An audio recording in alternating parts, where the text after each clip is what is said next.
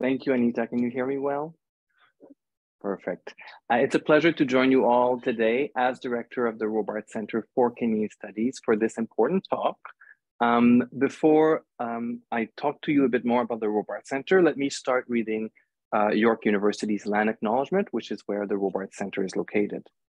We recognize that many Indigenous nations have longstanding relationships with the territories upon which York University campuses are located that precede the establishment of York University. York University acknowledges its presence on the traditional territory of many Indigenous nations. The area known as Toronto has been caretaken by the Anishinaabeg Nation, the Haudenosaunee Confederacy, and the Huron-Wendat. It's now home to many First Nation, Inuit, and Métis communities. We acknowledge the current treaty holders, the Mississauga of the Credit First Nation, and the territory is subject to the Dish with One Spoon's Wampum Belt Covenant, an agreement to peaceably share and care for the Great Lakes region. The Robarts Center, as Anita was saying, is one of the four uh, legacy institutions created in Ontario in memory of former Premier and also former Chancellor of York University, John Robarts, for whom education, either formal and public, was a key pillar for the success of province and of the country. Uh, the center was created in 1984 to foster a study of Canada and to foster the study of Canada, and it has evolved since then to become a core research node for a critical, collaborative, and interdisciplinary study of Canada. We have more than 150 faculty associates, including Dennis, from across 10 faculties of the university. So our work is wide reaching, um, but there's always been a keen interest in using critical insights developed by the scholarships of our members to inform public debate. Professor Pilon's work fits very well this definition and this goal as debates to electoral reform, the voting system might seem by some as inaccessible or impossible to touch. This is why we're very happy to co-sponsor this event today, which is based on a written policy uh, intervention that Professor Pilon published with us in our flagship uh, publication, Canada Watch, which has been around for since 1992. And I'll put the link in the chat right away. Thank you so much. And I turn back to you, Anita. Thank you very much, Jean-Michel. Really appreciate uh, Robarts Center co-sponsoring this. Wonderful. Okay, I'm going to introduce our guest speaker. So for those of you uh, for whom Dennis Pilon is a new name, he has been um, a leader in this field for decades. He was working on it uh, long before I was, and uh, you know this is a life, a life work for him. So Dennis is an associate professor at York University, one of Canada's preeminent experts on voting system reform. He has written numerous journal articles. If you go on York University website, you can read them all, very long list. Newspaper articles, book chapters, and books, including The Politics of Voting, Reforming Canada's Electoral System and Wrestling with Democracy, Voting Systems of Politics in the 20th Century West. All right, it's my great pleasure to welcome Dennis. All right. Well, thank you, thank you, Anita, uh, for that introduction, and thanks to Fair Vote Canada for uh, for wanting to put on this talk, and uh, of course, thanks to the Robarts Center uh, for agreeing to put the paper out, uh, responding to my my suggestion that this would be a good uh, a policy intervention for the center, and they just jumped right on it and have made it happen very quickly. Um, so that's that that's. Um, uh, the paper itself is i think there'll be a link somewhere. If you haven't already seen it you can you can check it out. And of course let me thank all of you for showing up tonight. Wow over 300 people uh, signed on uh, to the talk. Uh, i i you know i honor your your willingness to come out to this. Uh, you've obviously got lives and yet here you are to hear me. So i hope that what i talk about tonight will be of interest we'll throw out some stuff that you can use in our day-to-day struggle to get a more democratic voting system in this country uh, let me share my screen because I have a, a PowerPoint that I want to, uh, let me just see where it is here. There it is. Um, and uh, now I will choose slideshow. Now, let me know if, if any, sometimes glitches happen in Zoom with PowerPoint presentations. Uh, so just let me know if the slides are are moving. Uh, if they're not moving, I guess you know. Let me know. Like I'm going to switch the slide now, and hopefully you see presentation themes. And these are the themes that I, I want to take up. Um, obviously, I, am not going to be able to go into all the detail of the paper. Uh, the paper, yeah, frankly, I go on and on. You know me, uh, and so, uh, but but what I'm trying to do in the paper is provide ammunition resources. Uh, we've all heard the kind of off the cuff responses uh, that sound like they're informed or have something to them, uh, and and uh, and frankly, they they don't have anything to them, and that's the point of the paper. Um, you know, it's one thing to hear politicians swat away the topic with self-interested uh, rationales. It's another to see the media uh, fail to get into the depth of the issue because, frankly, they can't be bothered or they don't actually see it as being in their interest either. Um, but it's another to see academics uh, take up some of these false narratives or reinforce uh, ways of understanding the issue that are just not helpful. And uh, and it's a bit of a it, I, don't get it, uh, you know, why they end up where they do. Uh, but I felt that I needed to put in one paper a kind of one-stop approach to say, okay, you know, how is this being talked about uh, amongst people who should be informed, and where are they making mistakes? What is faulty in their logic? Uh, and so these are the themes that I want to take up. I want to talk about how we talk about voting systems. Uh, I want to talk about what I call fake values versus real voters. Uh, the fake values are the values that a lot of these political scientists put forward, suggesting we need to include in our discussion. And I say they're fake because there's really no evidence to support uh, the idea that they're important to anyone, as opposed to what the real voters are actually doing. You know, when we look at what real voters are doing, we get a good sense of what they're trying to accomplish. And that's that's what should inform our discussion. And then I take up this referendum issue and whether or not uh, you know referendums are the right way uh, to take up how to change the system. Spoiler: they're not. Uh, and I've got some some rationale, some reasons, some some backup for why I think that is the case.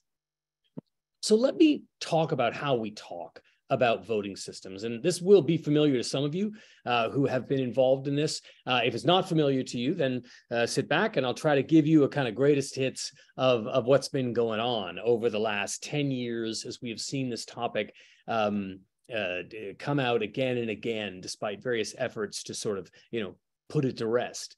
Um, so what I talk about is how the dominant approach in political science is this, what I call the preference approach. Uh, and the preference approach holds that the point of voting system reform is to assess the competing values that different voting systems allegedly represent. I say allegedly because I don't think there's any evidence to actually support the idea that they do. Um, and they they make these claims about the values based on the results that the systems typically produce.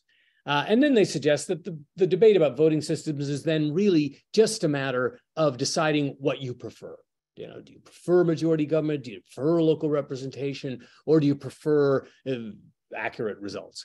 Um, and as I say, this is the way that most academics, media analysts, and politicians talk about voting system reform. And I compare this to what I call the democratization approach.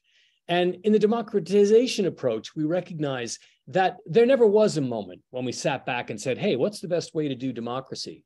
Instead, what we have seen over the last 150 years is a long uh, and partial struggle to make our political institutions that predate the democratic era into more democratic institutions. And that is as yet an unfinished pro project. Um, and it's one that has involved struggle against those who would prefer that things not be that democratic.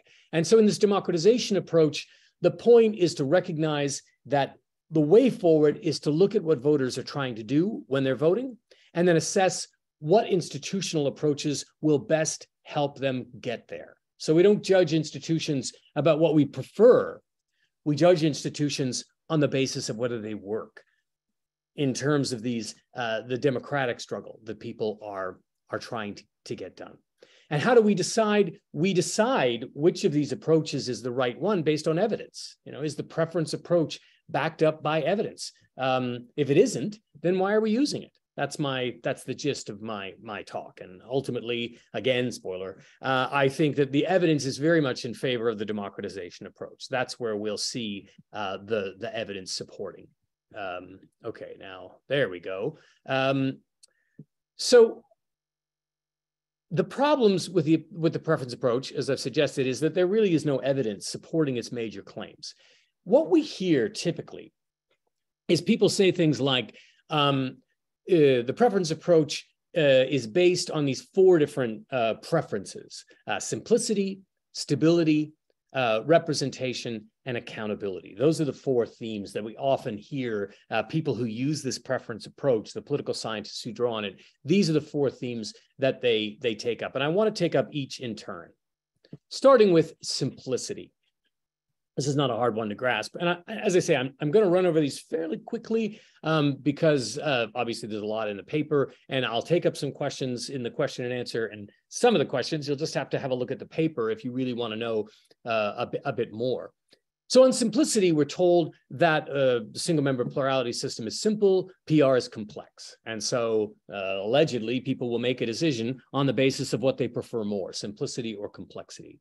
Now, I challenge this by demonstrating that PR systems are not actually that complicated to use. Um, uh, when we look at evidence about complication, one thing we can look at is what I call ballot spoilage rates. In other words, if a system is complicated, then we would expect people to make mistakes in using them. But what we discover in looking at both SMP, a single member plurality system, and PR systems is that their ballot spoilage rates are comparable. In other words, it doesn't appear to be any more complicated to use one system over another.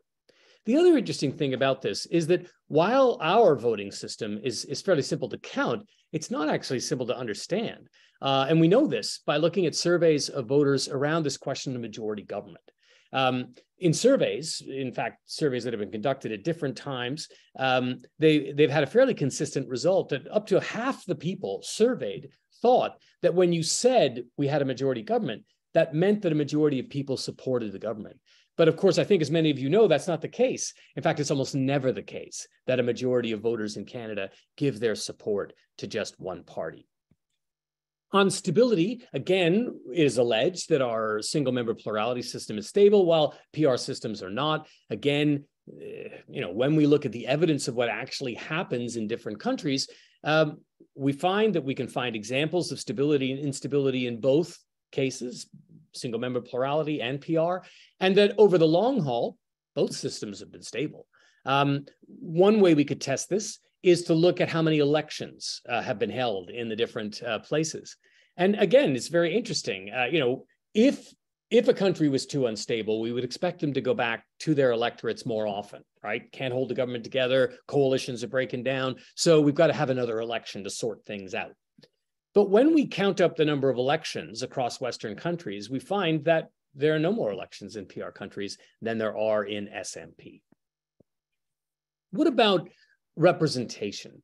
This is probably the greatest hit uh, of the defense of our current system. We are told that our current system is based on this idea of local representation uh, and that it's absolutely essential. Uh, people really love it. Um, and PR systems are going to wreck this. They're not going to have local representation.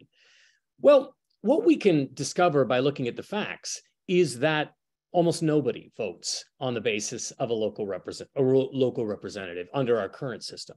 Almost everybody votes on the basis of party, and we know this by a number of avenues. Uh, we know it because people who run not with a political party are rarely ever elected. Uh, if they are, they're almost always former members of a political party. Um, we know from some survey work that has asked people their opinions you know how important is a local member to you. Um, people said oh yeah it's it's important to me. And one survey found 40% of people saying the local member was important.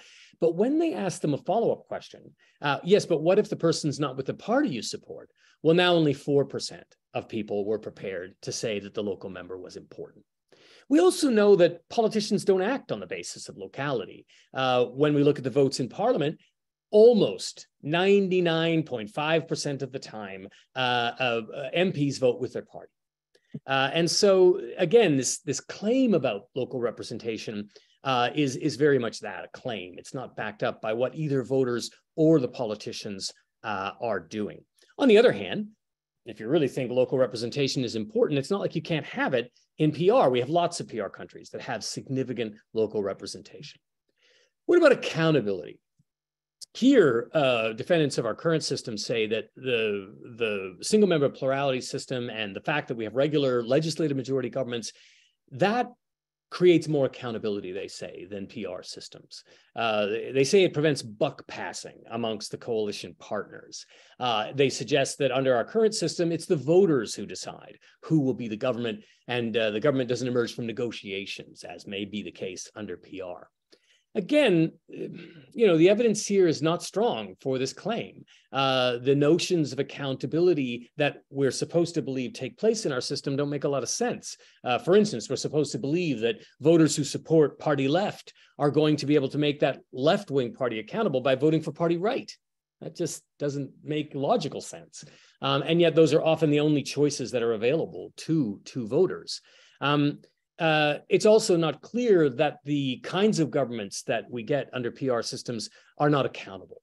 Um, we see uh, parties working together. Uh, lots of voters can understand those relationships amongst the parties, uh, and we see uh, those governing coalitions change in PR systems. So uh, we definitely can see a kind of accountability taking place in those systems.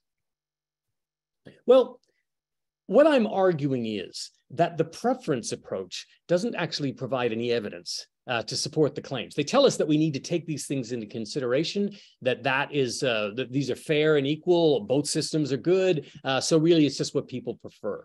But when we look at the claims of the preference approach, they're not backed up by any solid evidence. By contrast, I argue that what we need to do is look at what voters themselves uh, do when they vote. Uh, we could ask voters their opinions, um, and they might tell us lots of interesting things. But the most solid information we have is how voters vote. And, and there we can see that voters uh, regularly and almost always vote for a party. Uh, and that's what they're trying to get when they are uh, voting in an election and they're fairly consistent uh, in those uh, those results. Despite all the rhetorical focus on local representation, uh, the local doesn't trump people's party support, and the party support reflects uh, the values that they have, uh, the kind of policies that they would like to see uh, the government uh, introduce. And these tend to fall on a spectrum of sort of a rough left to right, not in a clear ideological way, but more in a policy way, right? Some voters uh, are against abortion and some are for abortion. And voters are very good at figuring out which parties are closest to the policies that they support. Uh, that's what people are voting for uh, when they when they get involved in an election. Um, and so uh, when, when voters vote party, it's a kind of what we call collective action. Uh, they're trying to get a result in line with a whole bunch of other voters. Obviously, other voters are also voting, and they're hoping that by voting with other voters, supporting a similar party, uh, they'll be able to get the kinds of policies uh, taken up by the government that gets elected. All right. Well, uh, even if one might accept my claims that the preference approach is wrong and a democratization approach is right, an approach that that puts the focus on the struggle to try to bring democracy to our institutions, it still doesn't answer the question of how do we get there. Now, we've seen an answer over the last 20 years, uh, and one answer is that well, we need to go to a referendum uh, a referendum is the right way, the just way, the democratic way uh, to make a decision about uh, the voting system. Uh, in fact, we have some, particularly on the political right, who argue today that it's it's uh, it's almost a convention now that we must have a referendum, uh, and they react very strongly at any suggestion that we shouldn't have a referendum. And so I want to take this up because I, I do think that there's a lot of the key claims are not backed up by any kind of complex thinking or evidence. Uh, and when we start to look at this question a little more carefully, we discover that uh, there are a lot of reasons not to take up the referendum approach. That the referendum approach, just voting on something doesn't make something democratic necessarily. Uh, we've got to ask some tougher questions. So let me just run through each of these these claims. And again, in the paper, I, I go into quite a bit more detail, and it's probably a little easier to follow. Uh, but I just want to give you a sense of, of what some of the arguments are that appear in the paper itself. Uh, and so for each of these claims, I go into a, a kind of counterclaim, uh, taking up uh, the arguments. So the, the first claim that I look at are the claims around majoritarian decision rules and representation. Uh, those who call for referendum feel very confident that it is the most democratic approach. Uh, because they think that putting the rules of something to a vote uh, makes uh, you know a kind of logical gut level sense. Um, you know, when you're voting on an issue uh, in a parliament, Sure, voting makes sense. You know, you have some discussions, some debate, deliberation, but at the end of the day, you got to make a decision. And so then you have a vote and you vote something up or you, you vote it down. When we're talking about representation, that's a very different thing. Um, representation is about bringing everybody to the table. Uh, and in a, in a political system, uh, obviously, if, if people can get enough support to ask for some representation, if enough other people agree with them, then it's not clear that allowing other people to say that shouldn't happen is democratic. And that's essentially what the referendum approach does. Uh, the history of referendums have some pretty dark chapters on this question of representation. Uh, we have seen again and again historically uh, dominant groups in society use referendums to deny other groups their representation. Um, so we saw, for instance, in the American uh, South, uh, and not just in the American South, the use of referendums to deny uh, African Americans their voting rights. Uh, to give it a veneer of democracy. Uh, we saw in, in the Canadian context the use of referendums to attempt to deny uh, different groups of people their voting rights, Asian Canadians and women. Um, in Switzerland, women were denied the vote until 1972 uh, by use of referendums. Uh, so it's not clear that referendums are a fast track to democracy. Referendums are an instrument that can be used for both uh, democratic and anti-democratic purposes. You've always got to look at the context uh, to ask yourself whether or not using a referendum is the right choice. Uh, and on lots of kind of moral normative grounds, it certainly is not. What about this automatic link of voting system reform and referendum. Uh, the, the idea here is that uh, there's some sort of logical historical link between the two. In fact, referendums uh, are rarely the, the way in which new voting systems have been introduced. Um, in fact, when we look at Western industrialized countries, uh, only Switzerland prior to the modern era used a referendum to introduce its voting system in 1919.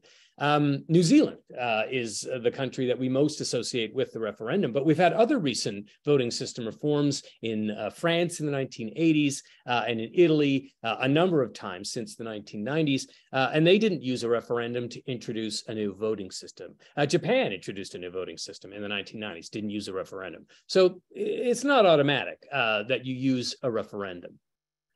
What about uh, the arguments that we hear about who is uh, proposing the referendum. We, we, we hear often that a referendum is a way to get around partisan interests. Uh, it's the most fair way of taking it out of the politicians' hands. What this ignores is that uh, the introduction of referendums or the calling for referendums, uh, both in the past and in the present, has been highly partisan. Uh, when you get into the weeds of the New Zealand situation, it's very clear uh, that there was strong partisan interest in uh, fomenting the use of a referendum and trying to use a referendum to actually stall the process. Um, in, in, in, at various levels of the process in New Zealand, which took place over a 20 year period, um, various politicians tried to rig the game against change. It didn't work. Ultimately, uh, New Zealand did, in fact, change its voting system. But what's fascinating is how Canadian politicians were paying very close attention to New Zealand. And so they uh, learned from New Zealand's mistakes, uh, as they would see it, uh, and made a number of key decisions. For instance, the introduction of a super, introduction of a supermajority rule in British Columbia, and then later in Ontario, and initially in PEI, definitely partisan. Uh, so those who are calling for a referendum, particularly today in Canada, the, the, strongest proponents are very much on the political right, and they do so not because they see it as the most fair uh, and open way, but because they think it's the best way to prevent change from occurring. What about uh, the arguments for referendums on the basis that the voters uh, have some strong opinions uh, that should be registered uh, in something like a referendum? That the referendum, in a sense, uh, puts the choice uh, in the voters' hands.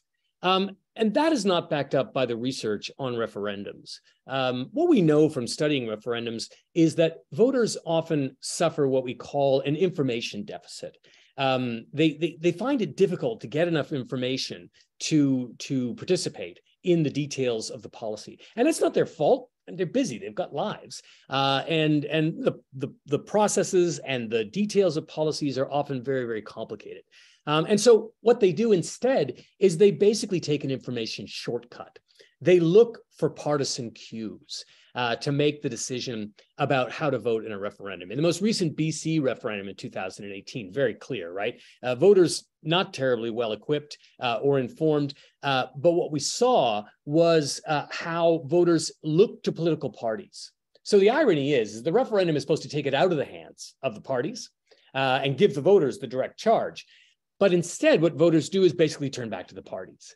And so the decision in BC reflected the organizing of the BC Liberal Party, who promoted the referendum as an almost existential crisis for the supporters of the BC Liberal Party. Uh, and so they were very successful at, at mobilizing enough of their supporters to vote against changing uh, the, the, the voting system. So um, uh, again, it's it's it's an interesting. Um, uh, what we're supposed to be seeing with this referendum is not what actually happens. Um, what about uh, uh, the idea of values? Um, you know that that uh, that the voting system that we had reflected certain kinds of values and you know a new voting system would reflect different values uh, often we hear particularly political scientists uh, use this idea that the voting system in the past was chosen for normative reasons. You know, Canada and other countries decided on first past the post um, because it creates majority governments or it has local representation. Again, the idea that the people who made the decision were sitting there weighing up, you know, these sorts of values. And when we look at the actual historical story, it's just not the case. Uh, the actual historical story is is much nastier. It's it's it's very much about self interest. Uh, uh, the the people who are in a position to make the choices are strictly thinking, how will this benefit me? How will this benefit the people I answer to? Usually, of course, very moneyed and powerful people. Um, they're not interested in whether or not it's good for the people. Uh, they're interested in whether it's good for themselves. So this this attempt to project these values into the past is historically inaccurate. Um, and it tends to skew the discussion uh, as if somehow um, the complaints that are being made about the system are somehow justified because they reflect an alternative group of values. Uh, the reality is that uh, our institutions reflect their undemocratic origins. Uh, the people who started the game uh, were interested in keeping control of it, not including as many people as they could. Now, they were at various points forced to open up the discussion, forced to include new people, but they never said, hey, and while we're doing it, let's rework the, the, the rules. No, no, they, they were very clear that they were going to open the door a little, but they were going to keep the rules the same if they thought those rules would continue to benefit them. And that's how we end up in the predicament we're in right now. Uh, it's not that you know the people have chosen these systems. Uh, it's that they've ended up with them. They've ended up with them because uh, it, it's what the powerful the organized uh, have wanted. And the last thing that I, I talk about in the paper is is the idea that referendums somehow are offering a fair choice. Because ultimately if you go along with what i've said which is that the preference values aren't really values that anybody's acting on. Uh, nobody is really making a decision on the basis of uh, locality or majority government or representation. Um, eh, well, then the only issue is really whether or not we think our voting system should be more representative or not. Should our should our should our approach to democracy be more inclusive or less inclusive? That's the question that a referendum is asking. And it, right off the bat, it just doesn't seem like a very democratic question. I mean, in a demo, in a democracy, representation is key. That's the very first step before you can have a discussion. You've got to have everybody at the table. And so basically to say to people, we're going to give you a chance to choose the undemocratic option is just by definition, a not democratic choice. The way I put it in, in, a, in an op ed in the Vancouver Sun uh, before BC decided to uh, have a referendum, um, in uh, in in 2018, uh, I basically said, look, this this stuff about the referendum is coming at this the wrong way. And so I said, think about it this way: you arrive at your neighbor's house for a friendly game of cards, but at the door he tells you that the other players have decided that you'll have to score twice as many points as anyone else to win the game. But hey, it's all above board, he tells you, because you know most of the players voted in favor of that rule. Now, does that make the rules fair? Is it fair that everybody else voted to make it harder on you, so that's a democratic outcome? Of course it isn't. Nobody would play a game under those kinds of rules. And yet, this is basically the argument of those who insist on a referendum. Let me conclude. The details of voting systems uh, matter, but not as much as the reasons that different groups support or oppose change how we talk about voting systems matter. And our theme is solely about more democracy and inclusion. Uh, that's why we're fighting for voting system reform. Attempts to introduce other values into discussion are either a distraction or they're just a different kind of politics. Uh, they're not supported by facts. And so either someone is trying to rubbish the conversation, distract us, confuse us, or they really just don't know uh, the facts uh, about how people are making choices. And then I've made the case that referendums are not the way to make institutions uh, more democratic. Uh, referendums are, at best, um, uh, sometimes the right choice uh, to make a decision, uh, but they're not automatically a more democratic choice in all cases. Let me see if I've there. I've got one for those of you who are interested in finding out uh, more. And obviously, I've run over a lot of stuff here tonight. Uh, you can go to my Academia EDU site where a copy of my book uh, and copies of my chapters and articles are available. Uh, and you can you can contact me uh, with questions uh, arising from tonight if we don't get to all of them in the Q and A. So there we go. That is uh, my talk. I realized it was an awful lot of information. I ran over things fairly quickly, but hopefully in this discussion, uh, you can get some clarity or you can raise some other issues you want to talk about. Thank you, Dennis. That was great. You covered a lot of ground in a very short period of time. And I hope everybody will take the time to read through Dennis's paper. It really is just excellent. And it's a good summary of the kind of conversations that we see on electoral reform in the media who get it from academics, which sort of skews the whole thing in the wrong direction, which is why we're lucky to have Dennis here with us.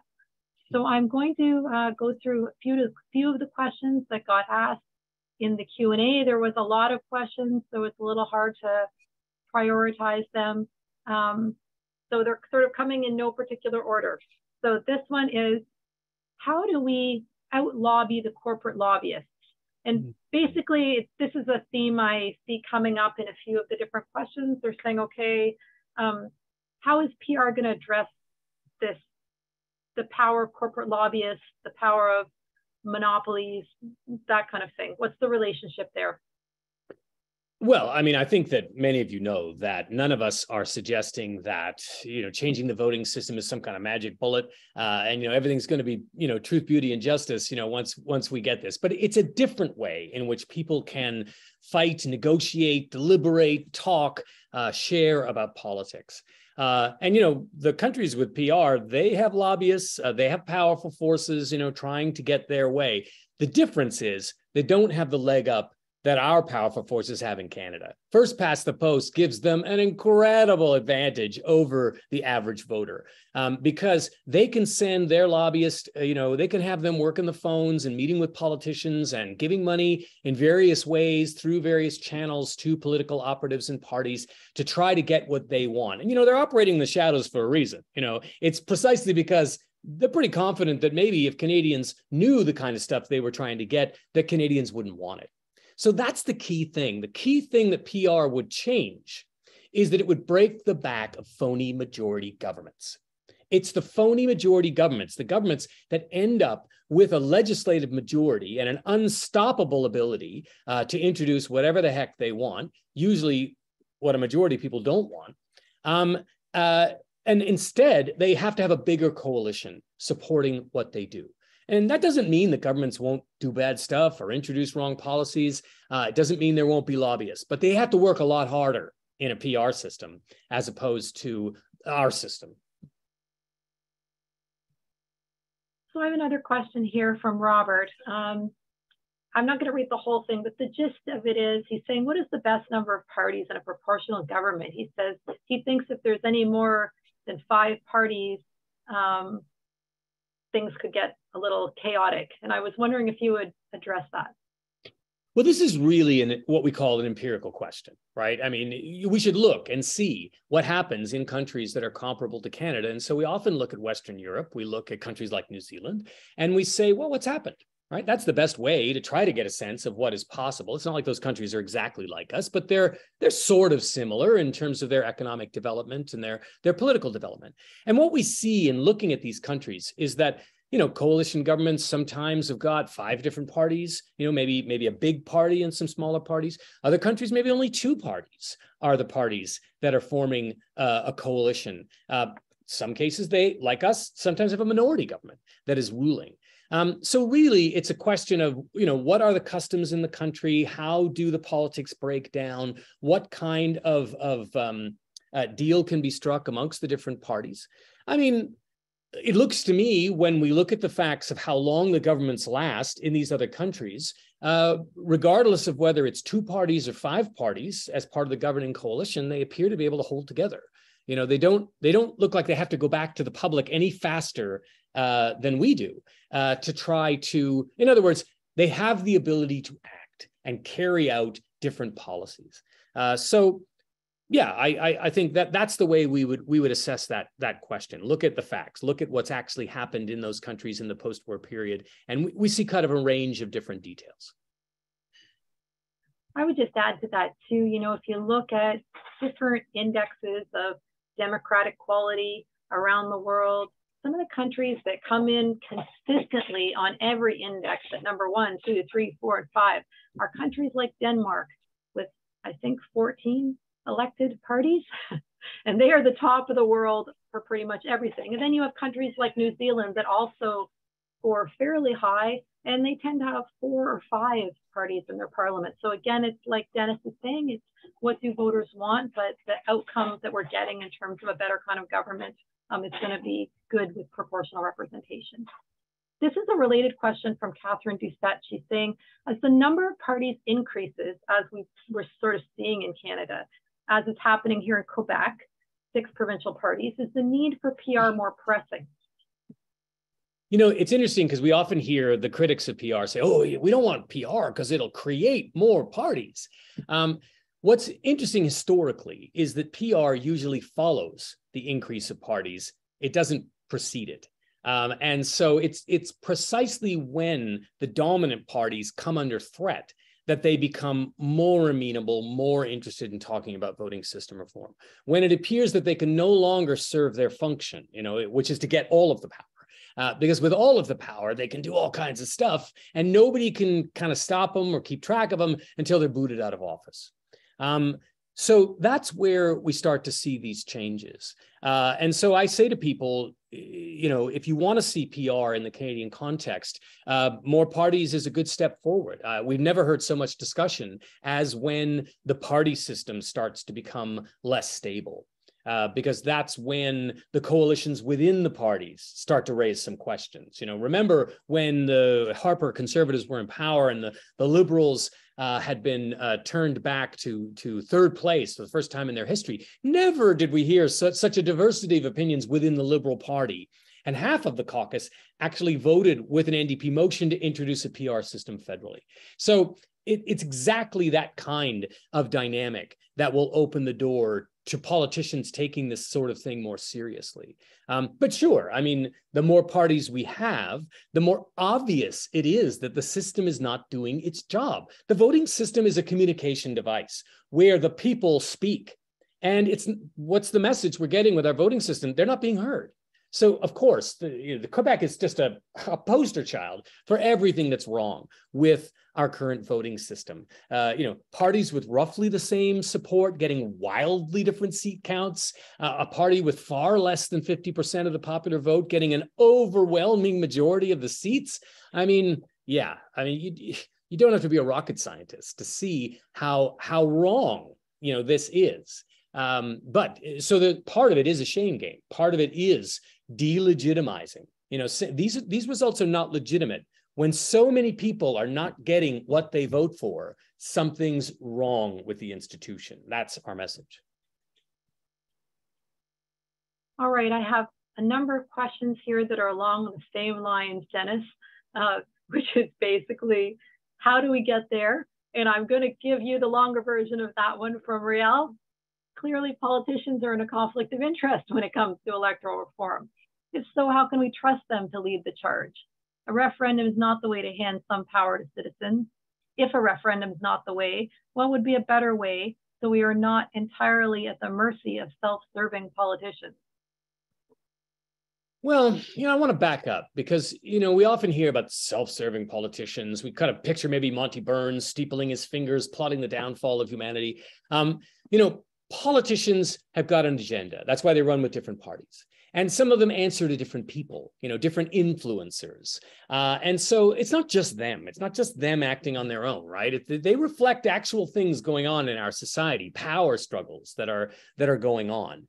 Um, and so we have seen politicians change the voting system in canada right? We've had 10 provincial voting system reforms 10 successful changes of a provincial voting system all conducted by politicians all handled within the legislature with a simple majority vote uh, so, uh, you know, when the time is ripe and they feel threatened, uh, they'll act. Uh, you know, we've certainly seen that in the past.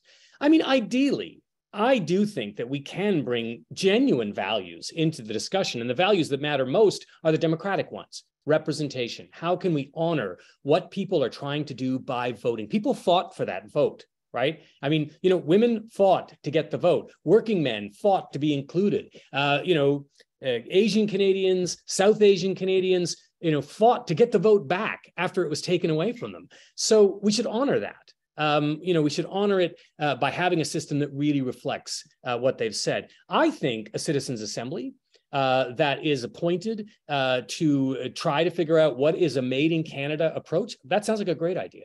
I, I have every faith that they would produce uh, really good results. Uh, wherever we've seen citizens' assemblies, we've seen, you know, honest, average folks who are given the resources do fantastic work.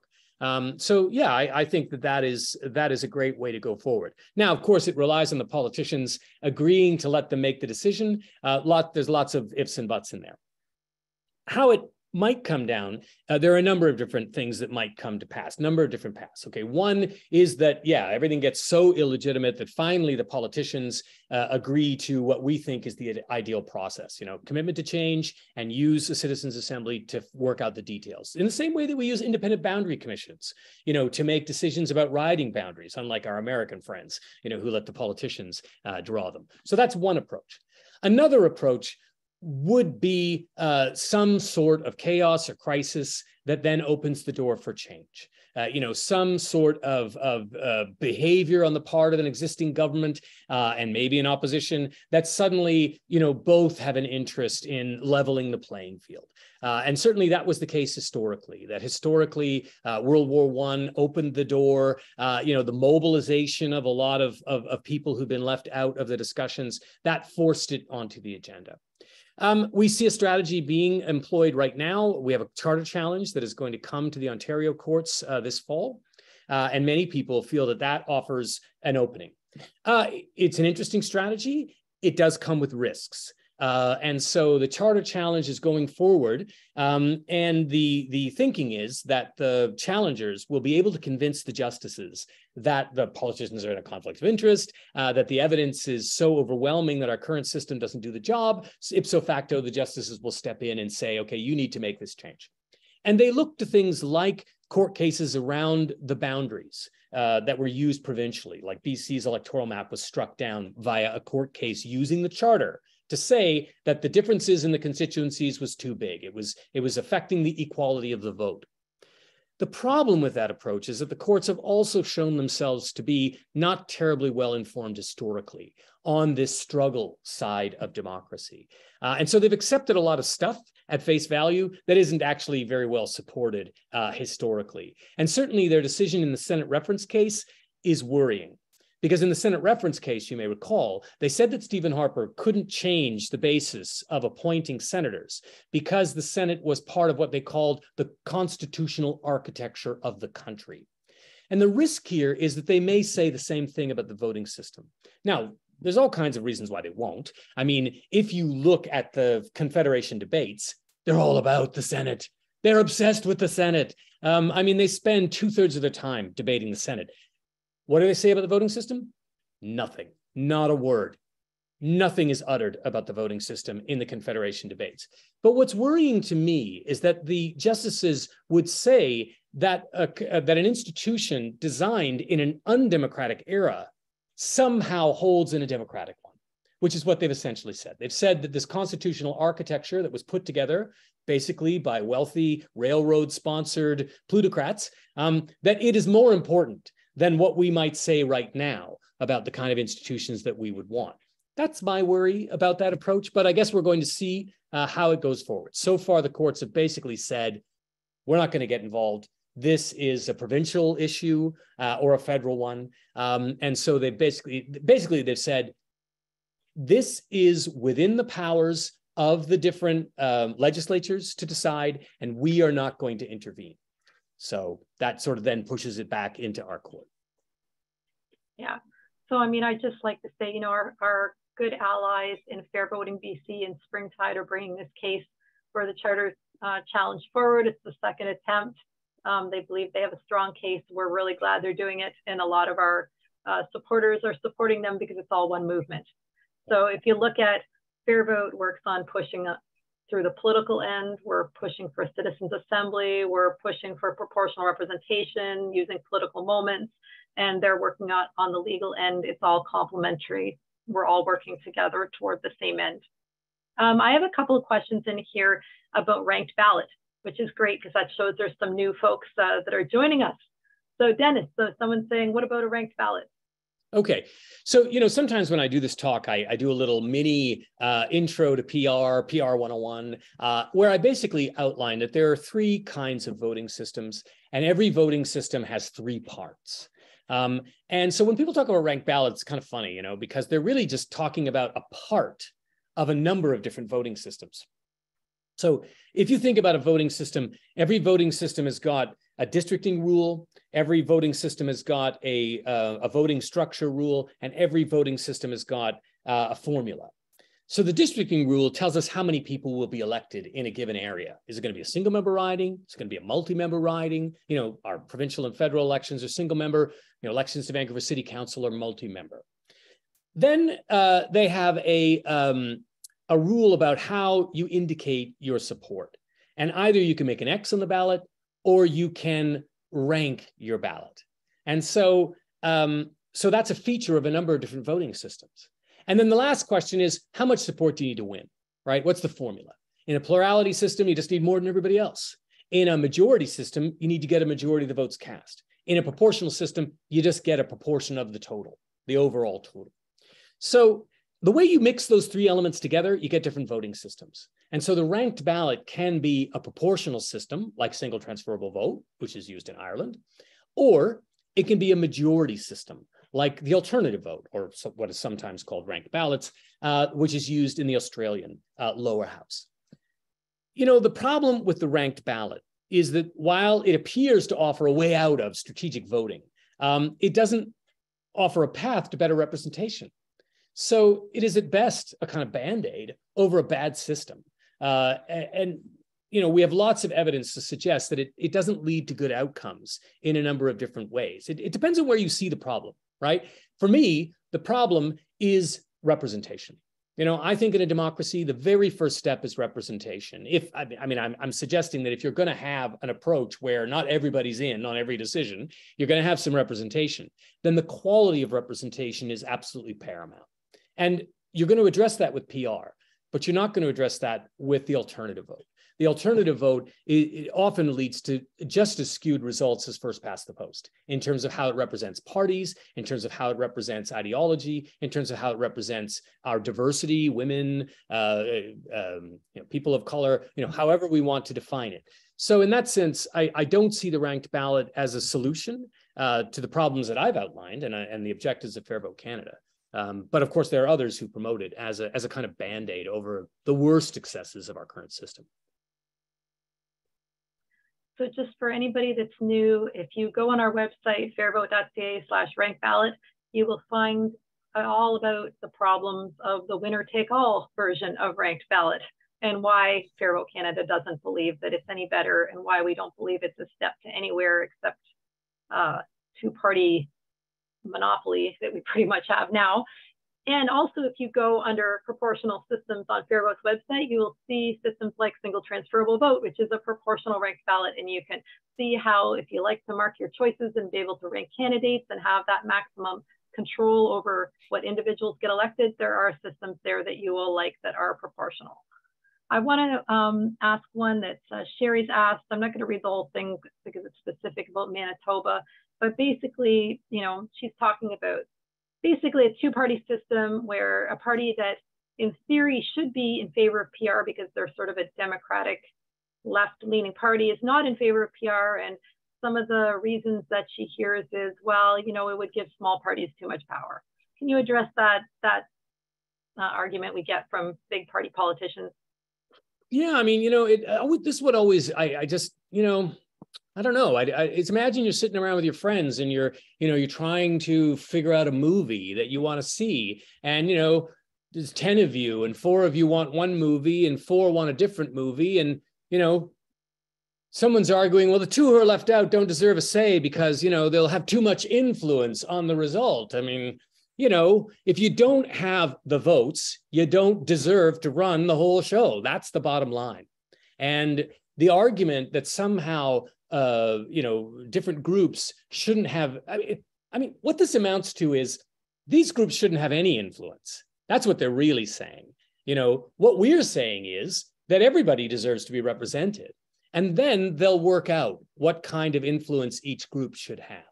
And there's lots of evidence uh, from Europe, um, Western Europe, where uh, you know parties, big and small, work together to try to balance out the influence. And smaller parties know that they can't make uh, two extreme demands. They know that. They they they they know from the votes how how how popular they are.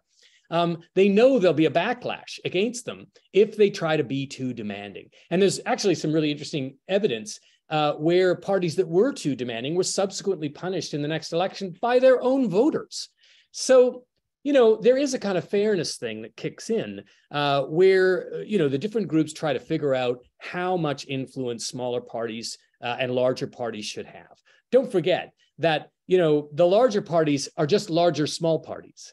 You know, they're not majority parties. I mean, if they had a majority, they could just do what they want, but they don't they don't have a majority so they don't deserve all the power and that's that's the code that, that, you know all these excuses that's the code. They're just basically saying i don't want to have to work with anyone else.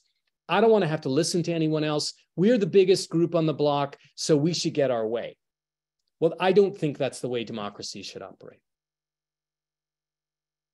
Okay i have a couple of questions here. They're a little bit different but they're along the same theme dennis. It's about the media.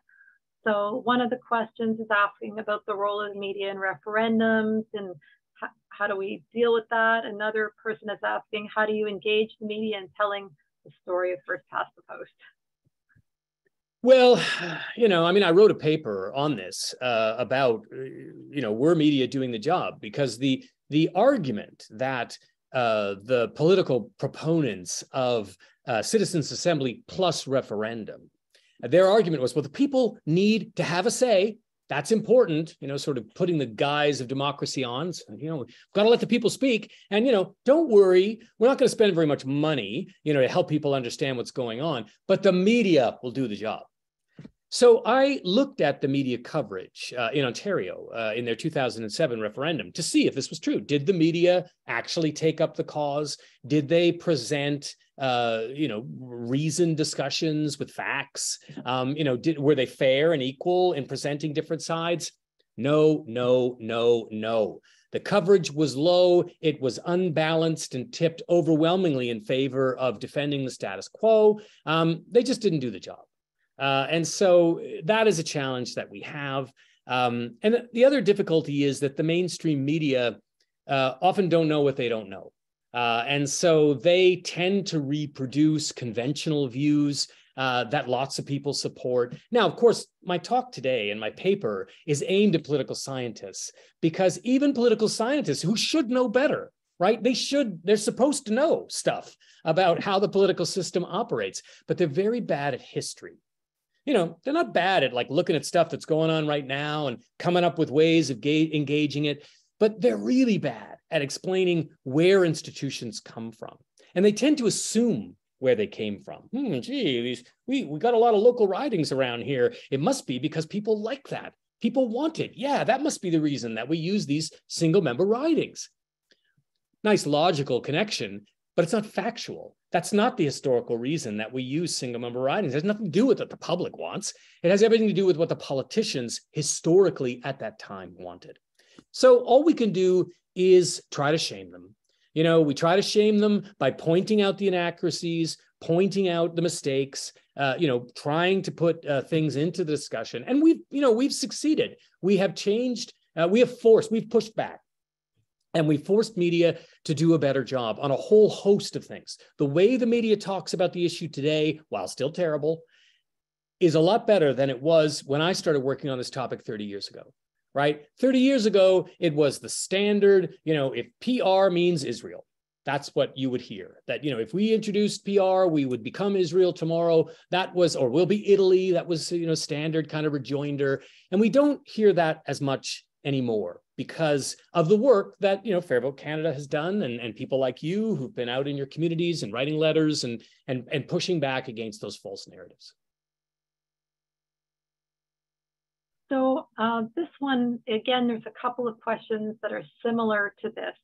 Um, I've heard an argument that only um, first past the post or single member makes transformative change possible when it's necessary well, PR stymies it because it almost always produces coalition. Can you discuss that? Well, I guess one would have to define what we mean by transformative change. Um, uh, the most transformative change that we saw during the 20th century was the establishment of, of, of welfare states, uh, which uh, addressed a whole host of problems that affected 80% of the population in their respective countries. Uh, things like unemployment insurance, uh, hospital insurance, medical insurance, uh, educational costs. Um, uh, you know, to sick days, uh, you know, all, all, those kinds of things were put forward in the early 20th century, but were batted away again and again uh, by governments uh, who, of course, were not listening to what people wanted. We're listening to what, you know, the powerful wanted what we see is that in PR countries, they went further and faster in terms of introducing welfare states that helped uh, an overwhelming majority of the population raise themselves out of poverty and penury. Uh, and so, to the extent that these countries are some of the most dynamic economies in the world, um, it is precisely because their governments have been able to act. So that's one of the one of the key myths is that coalition governments uh, are not able to act. They are. We've got lots of evidence of, of governments in Western Europe introducing absolutely transformative change. You want to see where there isn't transformative change? It's in first past the post countries. First past the post countries have what we call uh, liberal welfare states, which is to say shallow welfare states, uh, fairly weak welfare states. Um, you know, the benefits and the programs pale in comparison uh, to the programs that are offered uh, throughout Western Europe. So I, I don't accept this empirically. I don't think the facts support it. Uh, I, I, realize the logic. Uh, you know, the logic is that the more people you get on board, the harder it will be able to come to a decision. Um, but I think that that's that's very first past the post thinking. That's very all or nothing thinking. You know, the reason our politicians can't get along is because there's no incentives for them to do so. You know, if our politicians work together, um, then the headline uh, is um, you know so and so gave up something to so and so. So and so blinked, um, and when they run an election, they they're they can't they can't admit they work together because they've got to defeat every single opponent in every single riding. It's a you know it's a to the death match. So they can't sit back and say, well, well, actually, you know, our, our opponents over here did have some good ideas, and we you know we introduced some of them because that might be to say people should vote for them. And in our system, the parties can never ever say that.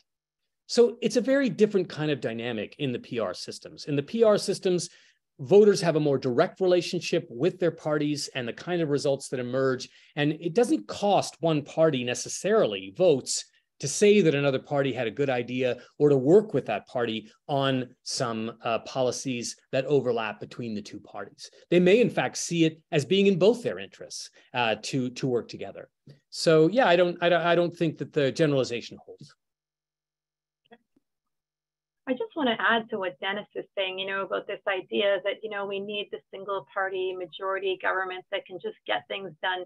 And, you know, those of us in Ontario are seeing that same kind of first past the post mentality with the Ford government right now. I mean, why, why do we need city councils when the mayor can just get things done? I mean, power just gets more and more concentrated, right? And so sometimes it is actually true that they can get things done. Are they things that we want to get done? The one problem that first past the post countries, winner take all countries have is sometimes they get things done and then in four or eight years they get them undone. And then we go sort of around in a circle with that. So it's it can be transformative, but not always in a good way. And in the long term, maybe not always in the best way. And so Dennis brought up the example of, you know, long term, some PR countries have done better on creating a, a more stable social welfare net. You know, another example is climate. PR countries are doing better, not wonderful, but better over decades on climate. And it's because of this sort of cooperative, incremental, improving kind of politics that proportional representation encourages. I wanted to ask somebody's question here. Um, it's not directly about PR, but I, I, I think it's worth um, hearing how it relates to PR. This is somebody talking about regional power imbalances. And just concerns about one part one part of the country has all the power one region has all the power other regions have no power. It sort of harkens back to this task force on national unity from 1979 can you just speak to how the voting system relates to that issue of regional grievances i guess well, uh, you know, there's a reason that people focused on regional politics have come back to the voting system again and again. It's because we are a regional country. Uh, there are different regional interests, uh, different regional needs that are distinct. Uh, and one would think that given that uh, reality, we would really be focused on making sure uh, that those differences were effectively represented, that they were represented, but not overrepresented. Well, our system is the worst at doing this uh, because it distorts the degree of passion for regional politics or completely underrepresents uh, those regional uh, uh, uh, approaches. The other thing is that regional politics is seldom one dimensional. Uh, there's often multiple ways to take up regional politics. Uh, you know, in the West, both the NDP and the Conservatives have a distinct regional pitch on various questions, um, but they're not the same. and we would benefit from seeing both of those approaches be part of the discussion. So it's why the Task Force on Canadian Unity, which was responding to the election of a separatist government in Quebec in, the, in 1976, was saying, we can't wait anymore. You know, we, we can't delay on this. You know, we absolutely have to do a better job of representing our, our, our differences as a country. Um, and my favorite example is the um, uh, you know 1990s elections uh, where the results were so not what Canadians had voted for. You know, we came out of an election where the Conservative Party was reduced to two seats, even though they still had considerable support. Um, the the West was painted Reform Party red, even though over half of the of the votes in the region were parties that weren't for the Reform Party. Um, uh, more than half of the seats in Quebec were won by the Bloc Québécois, who wanted to take Quebec out of the country, even though over half of Quebecers voted for parties that didn't support the Bloc Québécois. I mean, talk about oppositeville. You know, this this so yes, uh, a, a voting system that is more representative will reflect our regional uh, uh, political differences more accurately. Where people think that regionalism is important and they want to vote for it, it will be reflected. Where there are significant differences in taking up regionalism, that too will be reflected. And I think that's a good thing. Again, I think getting people to the table is the first real step in coming up with long-term solutions to our problems. You know, our problem right now is that, you know, the people at the table, they're not representative. So how can they fix the problems? How can they really fix them? Um, if, you know, long-standing uh, uh, truism of politics, if you're not at the table, you don't matter, right? You're not, if you're not present, then, then your issues are not going to be heard. And you know that's a, that's something that women have learned. It's what all different groups have learned is you've got to be at the table. It doesn't mean you're going to get your way, but you have got a better chance of being heard and being included if you're there. And that is the signal mistake that our current voting system makes vis-a-vis regionalization. Uh, a better representation of regionalism will move us towards better long-term solutions to these difficulties. Okay, a few people are asking this question about uh, concerns with people not voting. How will PR help with the fact that the majority of people are not voting? Okay, here again, I think we we we we can't propose PR as a magic bullet. If we look at the averages of voter turnout, the averages of voter turnout in PR countries is higher, right? Seven to 10% higher than in first past the post countries. But at the same time, voter turnout has slipped in PR countries as well. So the issue of voter turnout is not entirely uh, coincident with the voting system. Uh, and the reasons that we've seen declines in voter turnout are more complicated than just the voting system. Now, there is some interesting wrinkles to the story. Uh, for instance, in New Zealand, uh, switching to voting, uh, switching to a PR system didn't lead to an increase in voter turnout. However, the composition of the electorate did change. Uh, you know, those who had been traditionally left out who had been traditionally underrepresented, the Maori, working class people, women, people of color, um, they came out much more to vote. And so we saw increases in their voter turnout under PR. People who had been motivated by the ship's going down, we could lose by a single vote, it's all or nothing. You know, they weren't as motivated under PR to come out to vote. So it's interesting that you saw increases with some and decreases in other, and they sort of erased the gains. So that it looked the same, but it wasn't the same the, the people who came out to vote were not exactly the same coalition. And to my mind, um, you know, bringing in those who had been outsiders, I think that was a real accomplishment. Now, I'm not suggesting that we should just sit back and, and, and go, well, fine, you know, those others are gone or they're not coming. I think there are strategies that we can take up. And moving more into the question of voter turnout, it's very much a class thing. The missing voters are distinctly poor and working class people when we look at the 1950s, when we had, you know, 80% voter turnout, 75, 80% voter turnout at the federal level, the interesting thing there was there was a much higher proportion of working class people. Some political scientists say, oh, it's all about youth. It's young people. Well, that's not a very good answer because it's always been young people. Young people have always voted in lesser amounts than other groups. But what was interesting about the 50s and 60s was that of the youth who did turn out, more were working class. Now, we've done studies of college educated youth in Canada, and actually, there have been increases in voter turnout amongst college educated young people. However, the gains have been erased by losses amongst working class young people. So that is the challenge. And part of it has to do with the fact that parties don't mobilize voters in quite the same way that they used to. Direct contact matters. Direct contact makes a difference, particularly with voters who aren't already motivated to vote.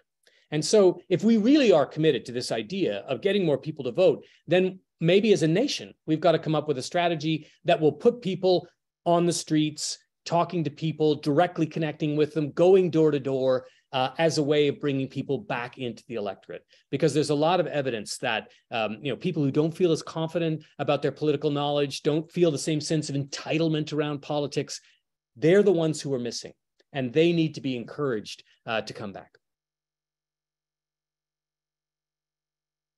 So I have a question here about, would you say the frustration with the present system was part of the reason for the so-called Freedom Convoy? And do you see an escalation going forward? there's some big questions. that's a very big question. And I don't think we have enough research on the Freedom Convoy to really make any declarative conclusions at this point. I think initially everybody thought, oh, well, they're all just conservative voters. You know, they're oh, they're all PPC voters, you know, showed up to the Freedom Convoy. But as people started to interview uh, some of the people there, um, they discovered that people had lots of different motives for coming. Um, you know, clearly, many of them were fed up with lockdown, fed up with masking, um, and and they were out of sync with the overwhelming majority of Canadians who were prepared to go along.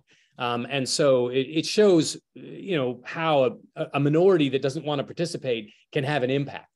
Um, but yeah, what what their political views are, that's a harder question to answer. Um, and it does appear that the PPC in the last federal election was able to mobilize people into politics who didn't normally participate, largely on the on the masking and the COVID uh, restrictions issues. Uh, the interesting question is whether they will continue to be mobilized. Uh, it does look like the conservatives are trying to appeal to some of those groups with some of their policy statements, um, but I don't know. I don't. I don't know if the sense of of crisis that was fueling, um, you know, the march on Ottawa will in fact uh, continue into the future. Um, so no, I, I think it, that's a that's a tough one because we really need to do more research to understand that group of people. I, I mean, I would just add to that, Dennis. You know, we've had a lot of conversations in Fair Vote about the idea of big tent parties versus um, hmm. being able to be represented in your own party. And I think there is some frustration when you have a big tent party like the conservatives or the liberals or the NDP, where there's such a wide variety mm. of views, and some of those folks are feeling like they're not being heard. Point. Yeah. Um, does a PR, this is an interesting question. Does there a PR system mean would we would be governed by the views of the average voter? Well, I mean, this is, um, you know, we often hear from some academics, they focus on what they call the median voter, which is to say the group of voters who are closest to the center of the political spectrum. And of course, then that de- depends on how you define, uh, you know, the different ends of the political spectrum. What is right? What is left? Where is the center? You know, you have people who say, oh, the liberals are a left wing party. Other people say, well, no, the liberals are a right wing party. And of course, there are arguments uh, for both positions. Um, I, I, you know, those who defend our current system say that the current system benefits the median voter. I'm not sure that the median voter should be privileged any more than any other voter. Uh, you know, at the end of the day, everybody in a democracy des- deserves representation. Uh, I mean, clearly, maybe there'll be some things that we all agree, you know, uh, Nazis, you know, we're not going there. Um, but barring that, you know, we agree that different views should be represented.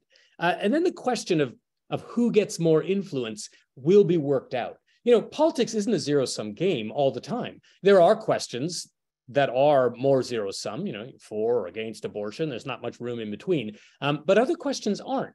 And so sometimes a government can actually come up with a policy basket that offers things to a whole group of voters, right? The the average median voter, um, you know, the, the voter who has a distinct view on the right or a distinct view on the left.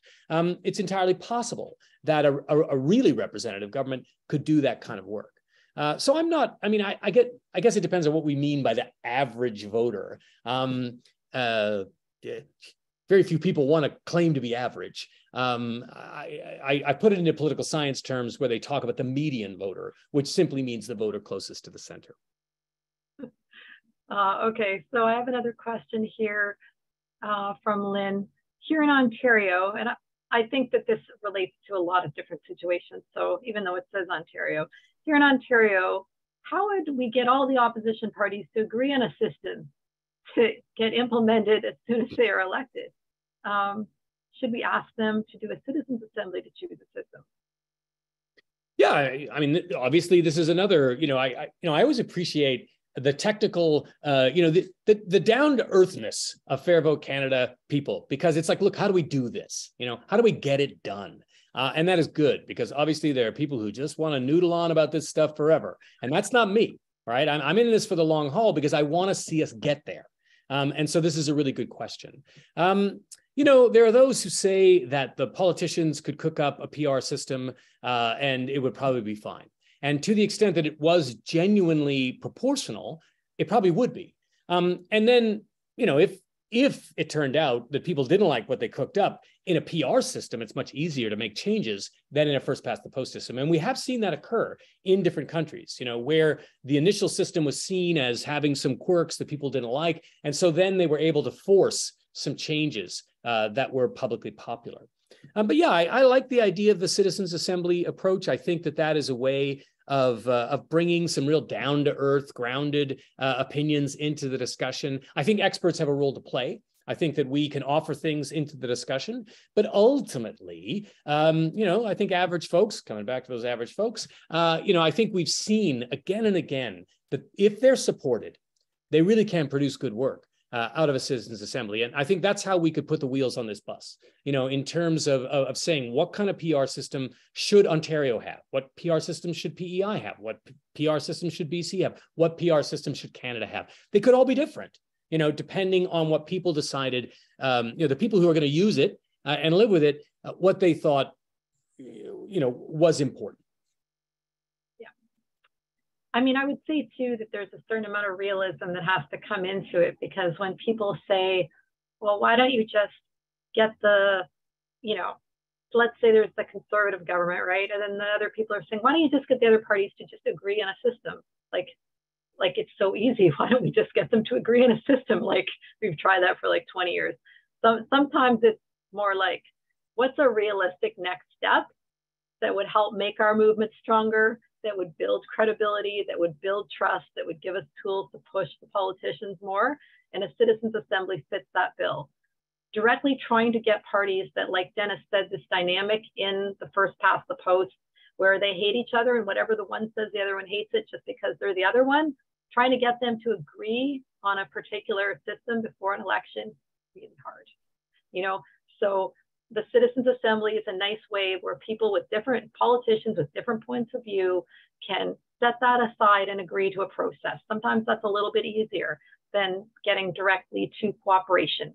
However, if they came out tomorrow and said, hey, guess what, Anita, you know, my phone rang, you know, we've had a meeting and decided that we agree on one PR system, yeah, we're, we're in, okay? But I don't think that's gonna happen, not at this point anyway. Um, I am seeing, let's see, people are asking about, you know, the things going on in Ontario and how we can use those things that are happening that people are very upset about. How can we use those things to advance the, the proportional representation cause? I, I do, you know, we always use the raw material at hand, which are the elections. Okay. You have come to this thing tonight because you're special. You know, you have an interest in this topic that's pretty arcane. Um, so you're already, I hate to break it to you, but you're already part of the geek club. Um, and that makes you different than almost everybody else out there.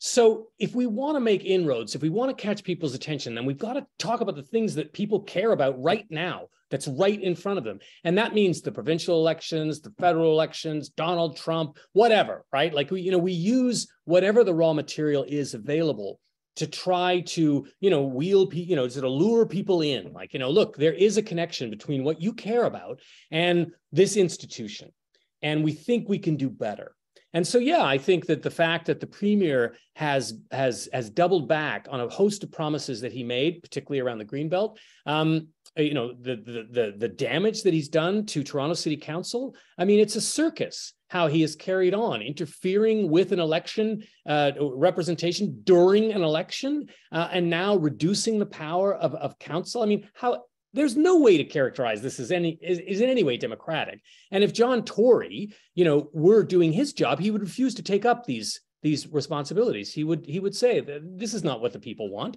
You know, they want me to be mayor, but they they don't want me to be you know, mega mayor uh, and have mega power over the other councilors. I mean, you know, this is the same party that makes a big deal about local representation. And, you know, with this law, they've dramatically undercut local representation.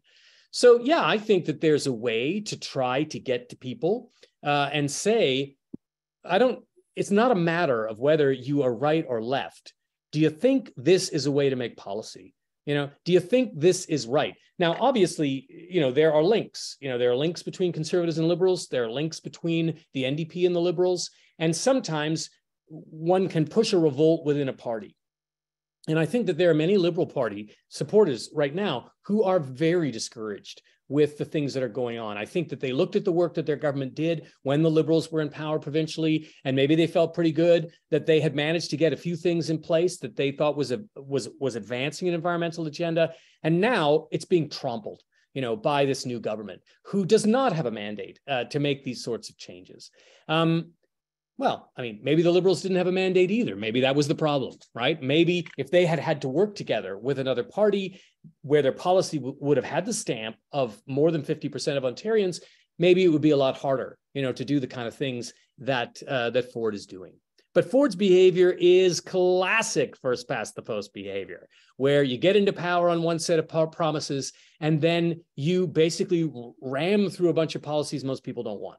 And you hope that by the time the next election comes, people will have forgotten, won't be important, won't seem as, as terrible by that. And of course, uh, that's what we've seen uh, happen again and again. I just want to back up what Dennis is saying. You know, some of these problems that we have, um, like our healthcare system is collapsing, just for example, you know, they aren't being made any better by the Ford government or whatever government you are and whatever province you are, which probably has a similar problem to what we have in Ontario because we're seeing this across the country. It's so it may seem like whatever government you have, they're they're responsible for it. But these problems go back decades decades of false majority governments, of politicians not being able to move ahead on important issues because they can't work together. And I had a very interesting conversation with a political scientist in Denmark. It was quite enlightening about a month ago, talking about how the parties in Denmark work together on some of these big issues and make long term agreements on values, on policies that last well beyond elections. And that's what helps them keep um, going forward and be have be stronger when these crises hit, uh, whereas we're just in our spin cycle. Okay, so there there are a ton more questions. It's 8:25. Maybe I will take one more question. Um, this is an interesting question from Sabina. She is asking about Indigenous uh, Indigenous vote. So how to support First Nations along an affirmative action plan that will provide reserved seats for them as in New Zealand. So if you could tie that in with the whole voting sure. reform movement, that'd be wonderful.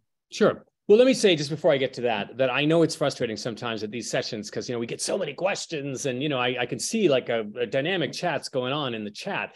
Um, and uh, and I, we appreciate you coming out tonight. This is I'm so so thrilled to see so many people spend their Sunday night with me and Anita. Um, you know, talking about our favorite topic if you want to follow up on any of these things, you can always contact me through my institutional uh, uh, account at York University. If you Google Dennis Pilon, you'll get my Academia EDU site where all my published work is. And uh, I, I, welcome you, you know your comments and questions. You know, I want to be a resource to you as the activists by providing whatever kinds of, of facts will help you beat up on our opponents.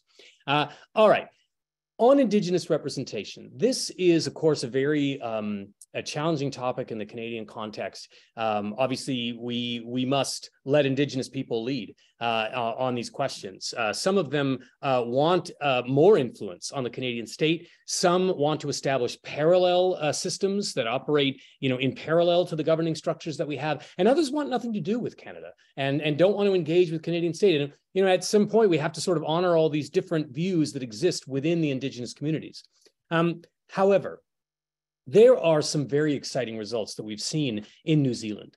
Uh, and uh, New Zealand has a very complex system. They have and have had for over 100 years a set of reserved Maori seats. Now, initially, this was pretty much a way of marginalizing Indigenous people. In 1867, the Maori were almost a majority of the people in New Zealand. Uh, uh, but of course, they didn't want to let them vote uh, in the election because that would affect what the col- col- colonizers would do. Um, and so they set aside four seats out of a much larger house. And so what that meant was they were dramatically underrepresented. Now, over time, with immigration, population expansion, um, then the seats were sort of roughly in line with Maori numbers. And then in the 60s, um, Maori population started to increase again. And again, the four seats were a dramatic underrepresentation. When they moved to PR, they did two things that were really interesting. One was they changed the way the Maori roll worked Now, depending on how many Maori register on the roll, and you don't have to if you don't want to, but depending on how many do, it affects the number of seats there will be. So now it's not limited to just four. Now it, is, it could be more. And you vote in one or the other. So if you register in the Maori seats, you vote in the Maori seats. If you don't register, you vote in the other seats. But at the same time, the PR system created a new dynamic amongst the parties. Prior to PR, only the Labor Party ran in the Maori seats. Only the Labor Party uh, uh, was was was in any way positive to the Maori issues, uh, and they were the only ones to see to be competitive. With the introduction of PR, this created a new dynamic where now suddenly the other parties recognized, wait a minute, we could be more competitive. Instead of the Labor Party winning all the seats that were available to the Maori, um, and thus no incentive for the other parties to move in, now the proportional system, they did have an incentive and they all took it up. So what we saw was that not only did was there an increase in Maori representation, in part because of the increase in Maori seats, but also outside of the Maori seats. And with PR, every major party had elected Maori representatives. And over the period of time from the adoption of PR, the Maori went from being dramatically underrepresented in New Zealand society to actually being overrepresented. So today, they are very much in line with their proportion of the population. They have representation in all the parties. We could do the same thing in Canada. We could have reserved seats as an option uh, that allows uh, uh, Indigenous people to define for themselves that group and but still allow uh, people who don't want to do that to vote anywhere they are. Don't forget, the majority of Indigenous people in Canada actually live in urban centers. And that means their influence and their vote is pretty much washed out by the non-Indigenous people. The only areas where they have an advantage is in some of the rural areas. And even there, they're not necessarily a majority of the population. So I think that PR is a natural fit with the justice aspirations around Indigenous politics, that we can do a better job of allowing Indigenous people to define whatever kind of representation they want uh, and have it work effectively with our existing institutions. So yes, I think that's a great, a great theme that we should be promoting uh, and, and, and helping to facilitate that conversation. Okay, well, this has been an incredible session. We have covered so many topics that we could dive into um, in depth. I just want to, you know, give a shout out to everybody in Ontario uh, that we are seeing our issue come up in Ontario in by mainstream columnists who yeah. are pointing out that we don't actually have majority rule, and it's not just Andrew Coyne. Now, you know, we're seeing it come up more and more, and that is because of the work of people like everybody on this call. So we are making headway there. Um, I wanted to let everybody know, doesn't follow us closely, that we are this close to a breakthrough in the Yukon. So expect a fundraiser for me from me tomorrow um, to do some more advertising to reach voters in the Yukon. Every every citizen in the Yukon is going to be sent a survey by the government where they will be asked if they would support a citizens assembly on electoral reform. If we win the survey, win being a weird word for this, but basically if enough people respond to the government's dry, boring, technical, and without context survey, and say, yeah, I think that sounds like a great idea, then we will probably see a citizens assembly and electoral reform in the Yukon, which is super exciting. So look for that, um, supporting our local team uh, to reach voters in your inbox.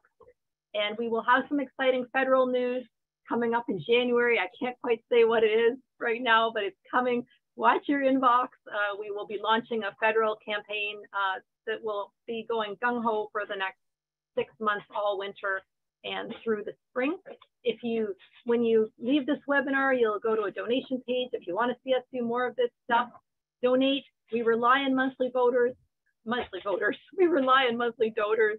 We rely on individuals. We rely on volunteers. Guess what? Government doesn't fund us. Uh, nobody funds us other than individuals. So we need that support. Feel free to volunteer, get involved. Uh, we need you. Um, and I think that is it. I just want to thank everyone for taking their time with us tonight. Thank Dennis for taking his time. And uh, yeah, thanks everyone for your support for Fair Canada and proportional representation. Oh, last thing. If you registered, which obviously you did, everybody who registered, I'll send them a link to this video that you can share uh, with anybody you like. In about two days, you'll find it on our YouTube channel, channel under the webinars playlist. And I understand that Zoom has done a thing now where they don't let you save the chat. Uh, they their tech guy says they don't let attendees save the chat anymore on webinars. So if you want a copy of the whole chat that you all had, just ask me because I get a copy of it and I'm happy to send it to anybody. And on that, we'll say good night. All right. Thanks.